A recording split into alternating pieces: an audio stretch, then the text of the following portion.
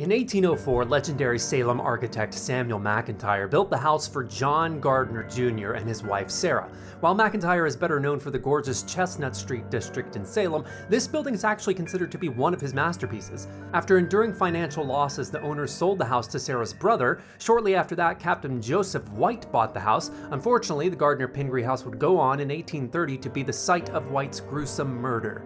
Not long after the captain's murder, the house transferred to David Pingree, and it remained in his family until 1933. The family then donated the building to the Essex Institute, which still manages it as the Peabody Essex Museum today. Considered a masterpiece of engineering and design, the house is a must see in Salem. The three story L is composed entirely of bricks laid in Flemish bond with a beautiful white marble trim. Additionally, inside the house, you'll find lavishly carved woodwork in the public spaces and an overall warm atmosphere. The fireplace mantels, cornices, and stairway balustrades also add a dash of elegance to this historic home.